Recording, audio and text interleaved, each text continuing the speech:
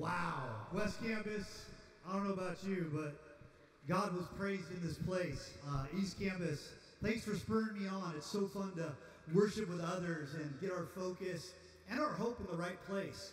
We are now in the fourth week of school, and there's still one more first that hasn't happened in uh, chapel. Uh, I've had the chance, I love going to the first chapel for everything. I've been to I Chapel, I've been to Liturgical Chapel, Senior Chapel, and uh, there's all these great things that are happening in both mornings and evenings, but there's still one chapel that has not happened yet. And that is Evening Prayers Chapel this week. On Thursday at 6 o'clock, Pastor Leo will be leading that.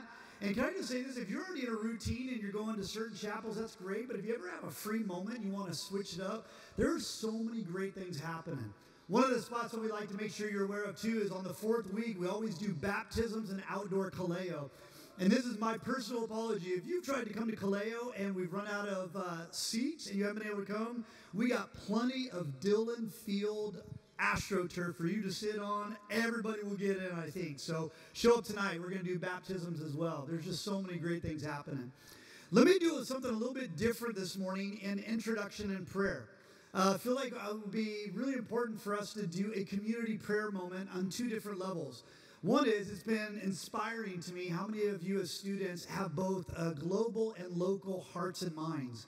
Many of us are aware as we watch the news what's been happening in the Philippines with the typhoon and the devastation and what's going on there for so many people. Also in North Carolina, the Hurricane Florence, and this morning heard another death toll of 37 people and just heartbreaking.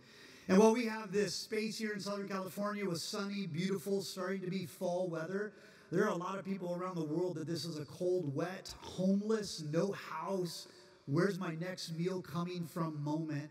And it just feels like it would be wrong for us not to stop and beg God for mercy. But when we beg God for mercy and beg God to work, we also need to be ready to say, and God, if there is something I can do what's, with what's right in front of me or around the world, help me to do that. I want to pray that way. The second way I want to pray this morning is for a little bit of uh, home cooking, okay?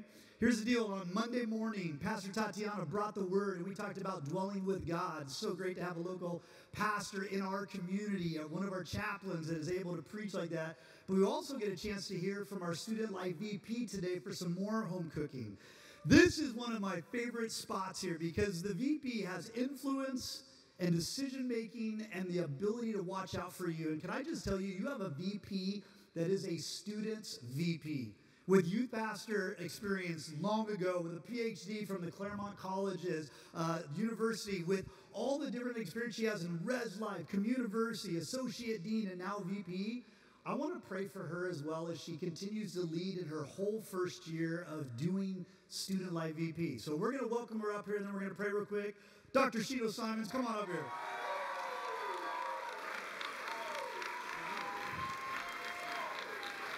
We will pray for the Philippines and we will pray for North Carolina and we will pray for RVP. Does that sound good? East to west, bow your heads with me. Uh, Lord, today, uh, even with sunny weather here and a roof over our head and food in our stomachs, we want to slow down and beg that your graciousness uh, would work in all those that are doing rescues, all those that are providing, all those that are watching out for those that need help. God, help us not just pray for the Philippines and just pray for North Carolina, but Lord, give us eyes to see what we can do and act now, even if that means watching out for somebody right here in Southern California. Lord, help us to be a people that live out our faith. And Lord, we lift up our VP this morning. Would you guide her as she brings your word to us? Would you encourage her? Would you give her wisdom? And would you help her as she has a whole first year in front of her of what it means to guide and be the people's VP? Thanks for a leader that cares about each of us. In Jesus' name, amen. Good morning. Good morning, West Campus as well. Uh, so let's see. So I've been thinking a lot about the first chapel, actually. So if you remember the first chapel, John Wallace, um, via uh, video, he shared with us about the Thai boys soccer team, right, that got rescued. They were stuck in a cave for over two weeks, uh, so 12 boys and a coach.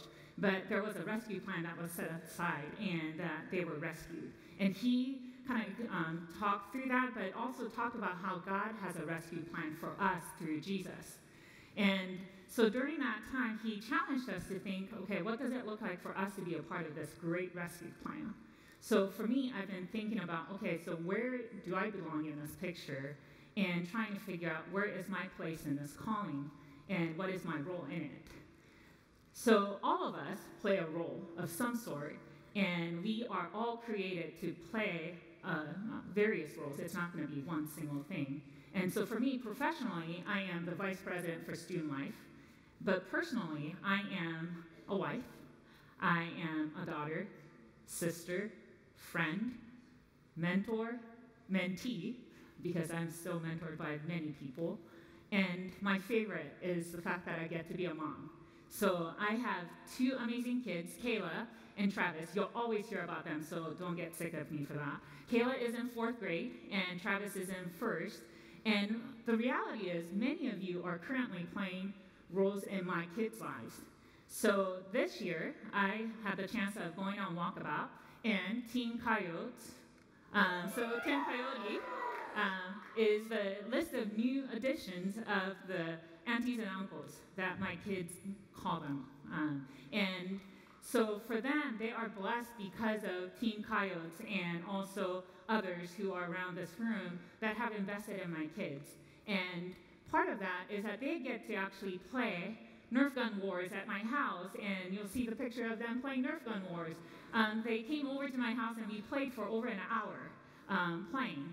And this whole Nerf gun thing was introduced by one of you, Uncle Ryan, I'm sure you are out there, several years ago. He introduced Nerf guns to my son, and he started loving this whole game.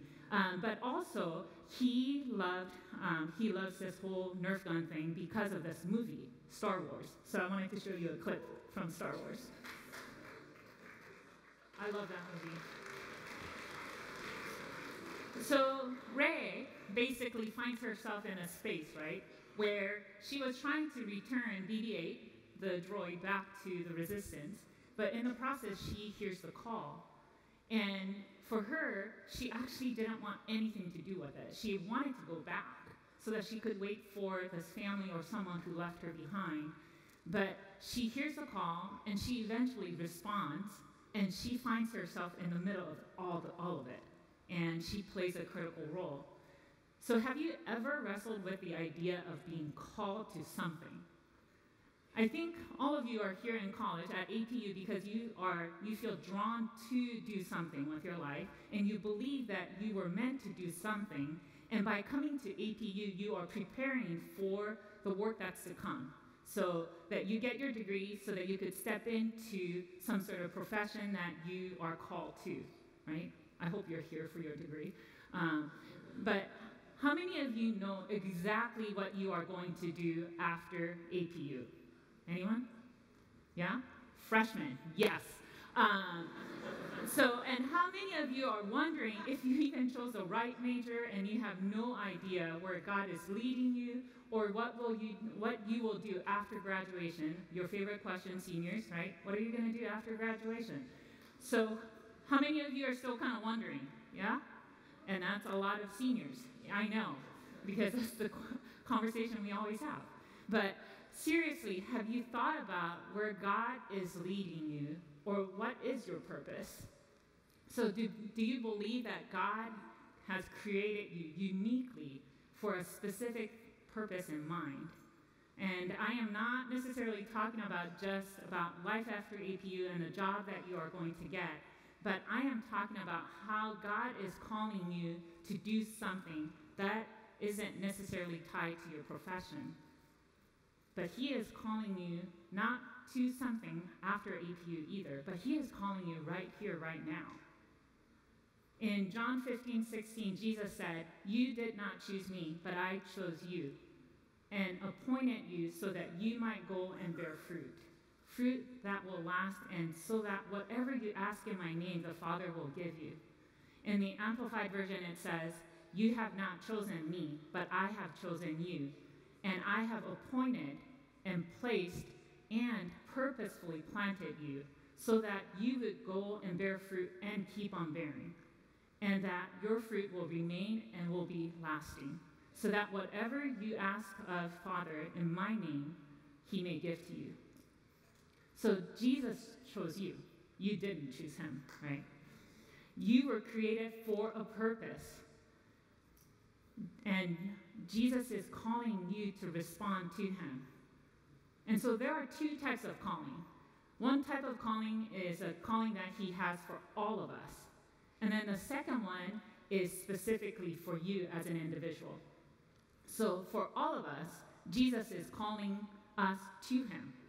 So he is calling us to have a personal relationship with him, and we were created by God to be in relationship with him. Do you believe that? In John, Jesus isn't just inviting us. Here, he's actually commanding us to remain in him. And I believe in order for us to understand where Jesus is calling us as individuals, you must know the caller first and be in active relationship with him so that you would know what he is calling you purposefully for. And so Jesus is um, calling us as individuals to respond to him, and he is stating that he chose us, one, but he purposefully planted us, and he is going to lead us through it.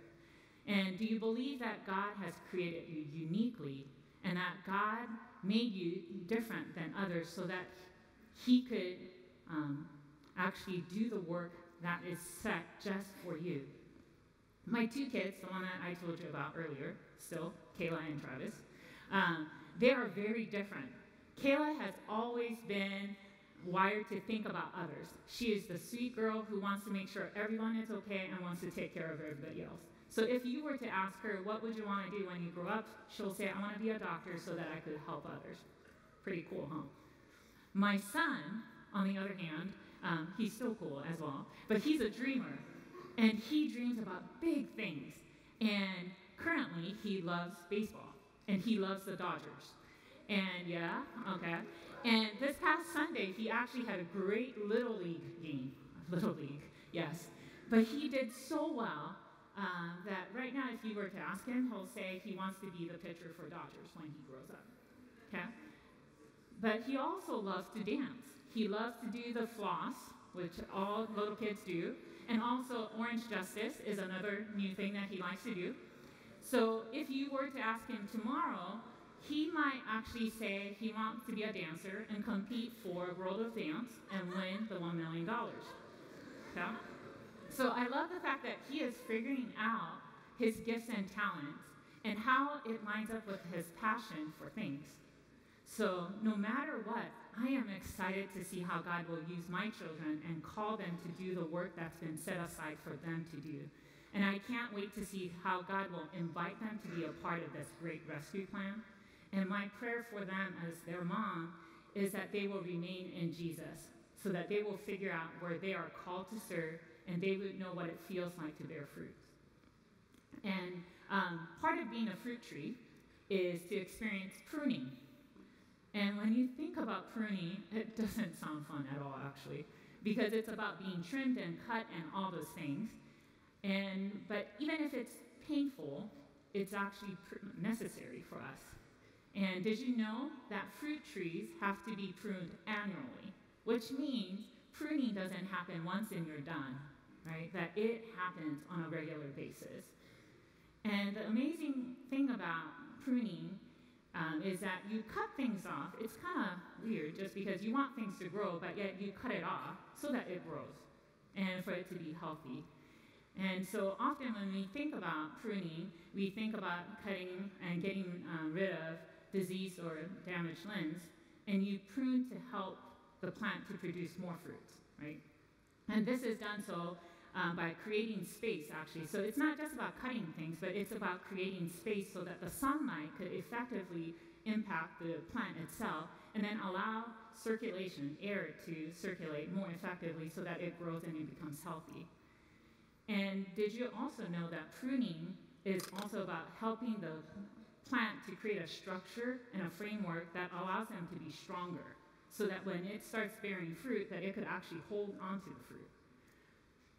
So when you think about being pruned, it may include experiences where you weren't expecting certain things, right? So things like removing things. It could be a habit, or it could be even people in your life, so that God could reach you more effectively and allow you to breathe and grow more. And it also may include going through a tough life situations. And through these experiences, God can strengthen you and develop you and make you even stronger. One of my mentors said uh, this to me recently. He said, You can become stronger by lifting heavier things, Shino. And I thought, Oh, I don't want to. But I'm like, Okay. Um, but have you found yourself in a place where you thought, I am led to do something, and when you actually got there to do that work, you experienced something completely different, far more challenging than you expected.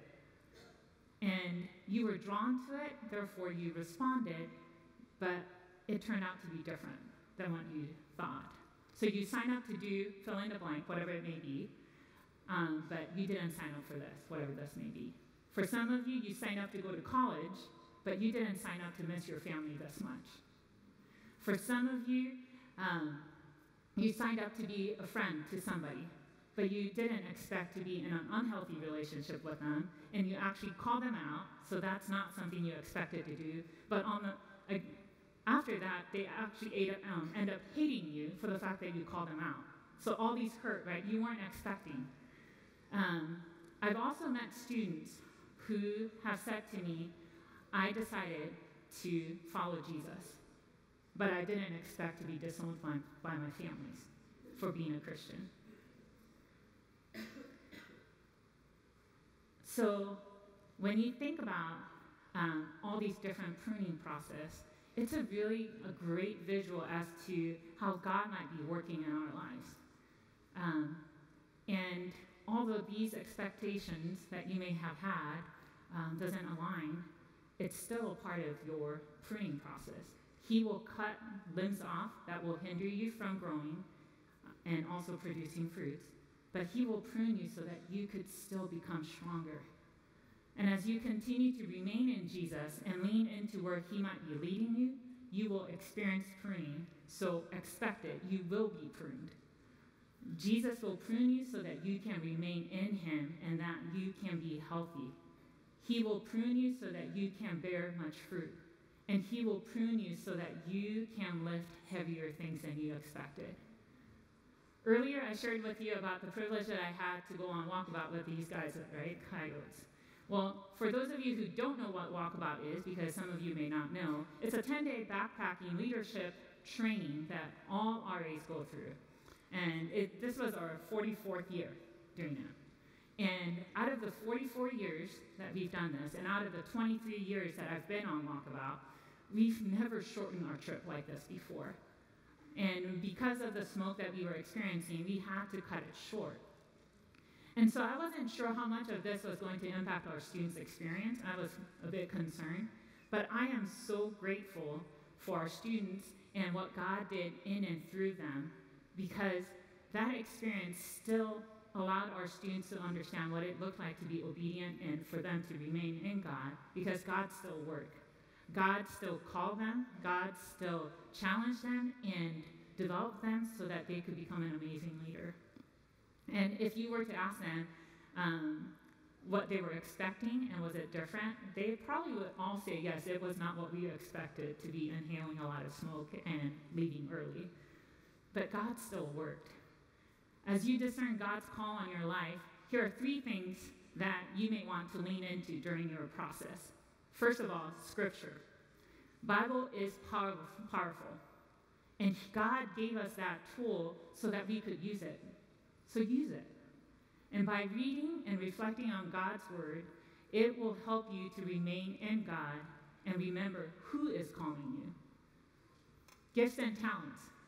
You all have it. And God gave you gifts and talents so that you can use them, not to sit on them. And typically, when you use your gifts and talents that God gave you, you will find joy and fulfillment. And I think it is important for you to know your gifts and find ways to um, continue to develop them and to sharpen them. Because more often than not, God will use it and bless others through it. I read recently that stated vocation is a calling that merges our mission in life with God's mission on earth. So when you are leaning into where God is calling you and where God is pointing as a possible vocation, your gifts and talents will, talents will match up with where you are supposed to be. Frederick Buechner said, Vocation is the place where our deep gladness meets the world's hung- uh, greatest hunger or need. The third piece is for you to lean into others. I stand here in front of you as a product of my mentors. You were never meant to do this thing by yourself.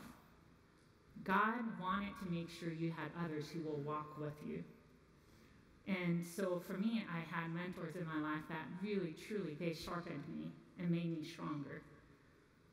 And if you are looking for people to be praying for you, sign up for D Group, sign up for um, all the mentor programs that we have. But some of you could email me so that I could be praying for you.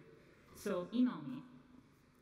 It is important for us to remember that when we feel the um, a leading of the Holy Spirit to do something, whether it is to apply for a leadership position or go into a certain internship or picking a certain major that leads to a certain profession, or it could be as simple as walking across the cougar walk and talking to someone. Remember, it is because of the call God has on your life, and He chose you. Some of you may know where God is leading you and calling you to do, but you might be resisting it, stating, I am not ready, or I don't have that gift or that talent for that job. So don't pick me, right? Moses did that too. He isn't asking you to have it all figured out because if he did that, he's going to be waiting for a really long time. Um, but he just wants you to be obedient to him. And again, in the first chapel, John challenged us to be a part of God's great rescue plan. And he also challenged us to be a community of second chances. So if you feel like you can't follow Jesus or do the work he has set for you because of your past, let it go. Let go of your past because Jesus is calling you and he has a plan for you regardless of what's, what happened in the past. We don't know exactly what God might be asking for us to do, but if we know who is calling us, then we must act in obedience.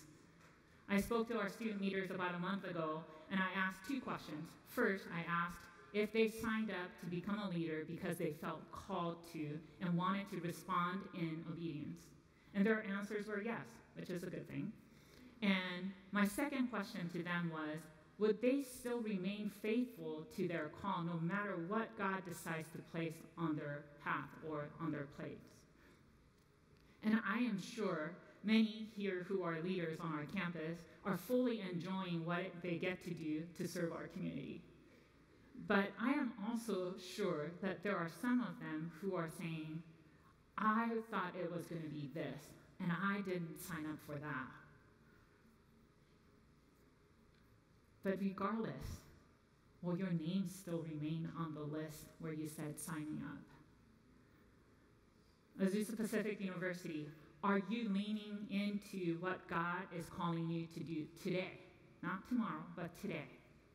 Are you abiding in Jesus and our Father and the Holy Spirit so that you can respond to the call we have because of who they are, who God is? If you are responding to God's call by being obedient, will you continue to follow the caller and do the work that is set before you, regardless of how difficult the task might be. If you said yes to the call that God has on your life, then I am excited to see how God will use you. My question is again, will your name still remain, even if you don't like the season and it seems too difficult to stay?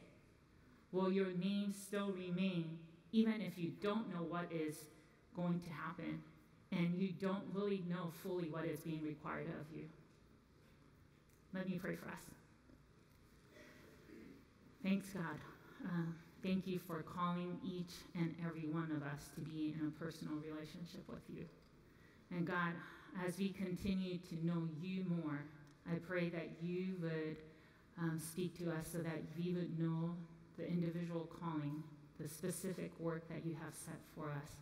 And when we know that, um, give us courage so that we could respond in obedience and do the work that's been set for us, Lord. Thank you so much for loving us, and thank you for allowing us to be a part of this great rescue plan and the fact that you've rescued us. And so I ask that you would move on our campus and move in a mighty way so that we will see a different community on our campus where we are always responding to your call. Thanks for everything. It's in your name. Amen.